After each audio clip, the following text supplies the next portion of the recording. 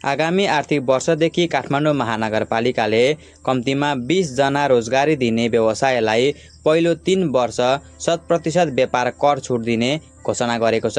शुक्रबार आगामी आर्थिक वर्ष दुई हजार चौबिस पच्चिसको नीति तथा कार्यक्रम प्रस्तुत गर्दै काठमाडौँ महानगरपालिकाका मेयर बालेन्द्र शाहले यस्तो घोषणा गरेका हुन्। उनले काठमाडौँ महानगरपालिकाले सञ्चालन गर्ने विकास र निर्माण आयोजनाका लागि आवश्यक पर्ने जनशक्तिको कम्तीमा तिस प्रतिशत काठमाडौँ महानगरपालिकाको श्रम ब्याङ्क मार्फत उपलब्ध गराइने बताए। महानगरीय क्षेत्रका सहकारी संस्थालाई थप व्यवस्थित गर्न विद्युतीय प्रणालीमा एकीकृत गरिने मेयर शाहले बताए।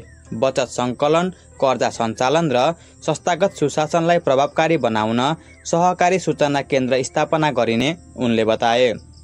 मेयर शाहले विद्यार्थीको मानसिक तथा शारीरिक विकासका लागि प्राथमिक तहदेखि नै खेलकुद अनिवार्य गरिने बताए।